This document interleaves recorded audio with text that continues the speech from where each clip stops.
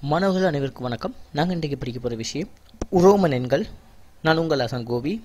நவோதயம் கல்வியகத்திலிருந்து தொடர்புகளுக்கு சைபர் ஏழு ஐந்து ஐந்து ஒன்று ஐந்து மூன்று ஆறு ஒன்று பூஜ்ஜியம். உரோமன் எண்கள் உரோமன் எண்கள் வந்து ஆங்கில எழுத்துக்கு ஒப்பான மாதிரி காணப்படும்.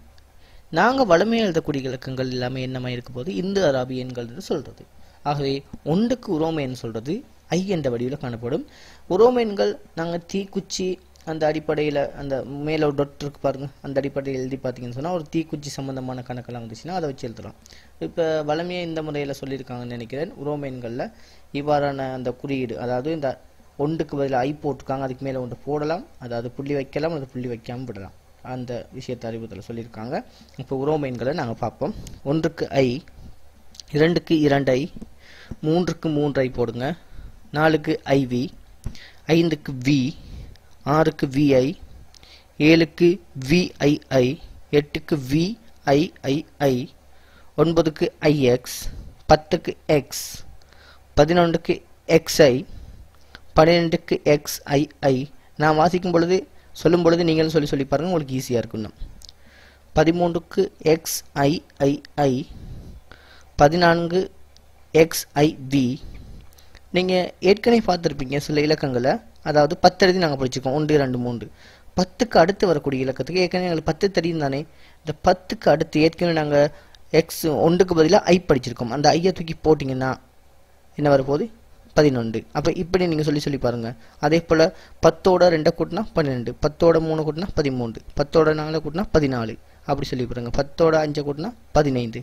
பத்தோட ஆறு கூட்டினா பதினாறு. பத்தோட ஏழை கூட்டினா பதினேழு.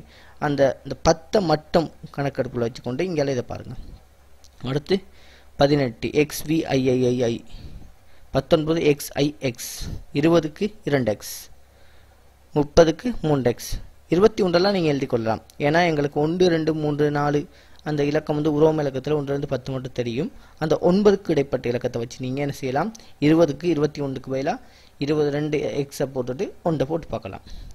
அடுத்து முப்பதுக்கும் முப்பத்தி ஒன்று அதெல்லாம் நீங்கள் அதே மாதிரி தான் எழுதி பார்க்கணும் நாற்பது எக்ஸ்எல் ஐம்பது எல் இல்லை பாருங்கள் இந்த இடத்துல நாற்பது கொடுத்துருக்காங்கன்னு சொன்னால் என்ன செய்யலாம் நீங்கள் இந்த இடத்துல அதாவது ஐம்பதுலேருந்து பத்தை கழிக்கிறோம். அதனால தான் முன்னுக்கு போட்டுருக்கோம் ஐம்பதுலேருந்து இந்த எல்லுங்கிறது ஐம்பது ஐம்பது முன்னுக்கு போடுங்க. எந்த ஒரு இலக்கத்தையும் முன்னுக்கு போட்டிங்கன்னா கழிப்படும். ஆகவே நாங்கள் என்ன செய்ய போகிறோம் இந்த ஐம்பதுலேருந்து இந்த பத்தை கழிக்கிறோம். நாற்பது வந்துடுச்சு அடுத்தது எல் ஐம்பது எல்எக்ஸ் அறுபது எல்எக்ஸ்எக்ஸ் எழுபது எண்பதுக்கு எல்எக்ஸ்எக்ஸ்எக்ஸ் மூன்று எக்ஸ் போடுங்க எல் மூன்று எக்ஸ் தொண்ணூறுக்கு எக்ஸ்சி நூறுக்கு சி நான் சொன்னேன். எக்ஸ் என்பது என்ன செய்யப்படுது? கழிக்கப்படுது. இப்போ சி என்பது நூறு நூறுலேருந்து பத்து போனால் தொண்ணூறு. அடுத்தது சி என்பது நூறு ரெண்டு சி என்பது இருநூறு சி என்பது ஒரு சி ரெண்டு சி என்பது இருநூறு மூன்று சி என்பது முந்நூறு உரோமெண்ணில் சிடி என்பது நானூறு. அப்போ இதில் என்ன செய்திருக்காங்க? டி என்பது ஐநூறு பெருமதியாக காணப்படும்.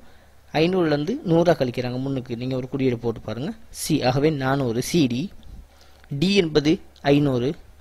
அறுநூறுக்கு டிசி எழுநூறுக்கு டிசிசி எண்ணூறுக்கு டிசிசிசி மூணு சி போடுங்க. டியும் மூணு சியும் அதே போல் ஆயிரத்துக்கு வந்து எம் வரும். எம்ல இருந்து என்ன செய்யறோம் நூறை கழிப்போம்.